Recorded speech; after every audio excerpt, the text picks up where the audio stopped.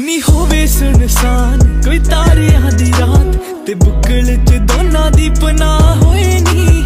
ਹੋਵੇ ਇੱਕ ਤੂੰ, ਦੂਜਾ ਮੈਂ ਗੋਰੀਏ ਤੇ ਤੀਜੇ ਕਿਸੇ ਬੰਦੇ ਦੀ ਨਾ ਥਾਂ ਹੋਏ ਨੀ। ਮੈਨੂੰ ਯਾਦ ਰਵੇਂ ਤੂੰ, ਤੈਨੂੰ ਇਲਮ ਕੁੜੇ, ਏਦਾਂ ਦੀ ਕੋਈ ਹੋਏ ਗੱਲ ਬਾਤ ਗੋਰੀਏ।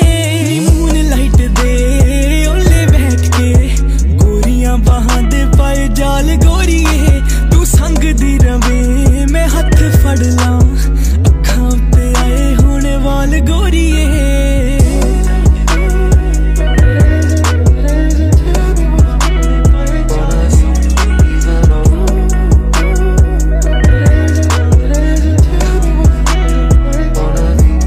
ਰਲੇ ਸਾਹਾਂ ਵਿੱਚ ਸਾਹ ਬੁੱਲ ਟੁੱਕਦੀ ਰਵੇ।